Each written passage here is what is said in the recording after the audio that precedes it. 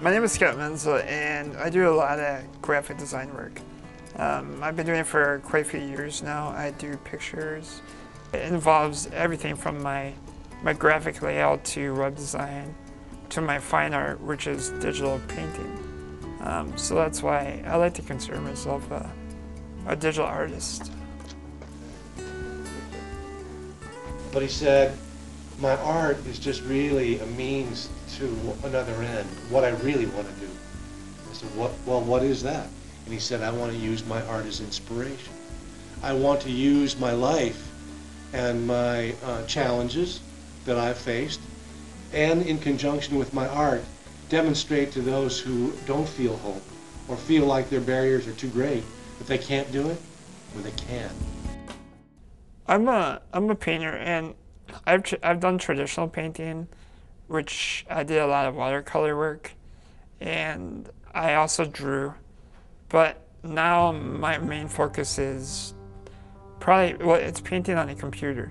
Um, I paint, I draw, and I illustrate on a computer. It's my it's my art box. Um, I use special pens that I have that mimic real life brushes and software that will mimic real life paint. Uh, and this gives me the flexibility that I never had before because with the computer, your palette is as big as the printer. Um, if I want to draw a building or a picture the size of the Empire State Building, if there's a printer that's capable, I can do it now. Um, without the computer, it, I was limited to uh, probably eight and a half by 11.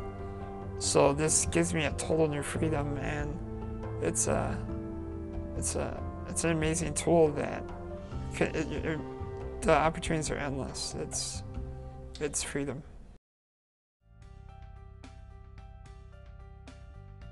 And when people see me, they tend to be shocked of what I can do, and and to me it's great because they're seeing the true me then because you know usually they see oh he's you know a guy in a wheelchair.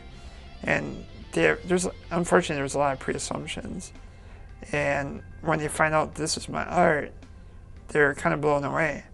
And it's the person inside which is really what counts in everybody is the person inside our bodies are just shells. And i think that's really one of the major factors why i create art. And people seem to enjoy my art and I get personal satisfaction from watching people enjoy what I do. My whole life depends upon external help. I, I'm physically, because of my condition, um, I can't really do the basic things. Just even like raising my arm up to itch my eye, I can't do that. My arms are planted on my, my body. Um, I have what's called spinal muscular atrophy. Uh, it's my condition. I've had it since birth. And uh, it's a condition that it's a, a muscle, well, it, my muscles miss, they don't get the signals right. And so my muscle growth is kind of stunted. And so my muscles actually over time will degenerate. When did you start getting interested in art?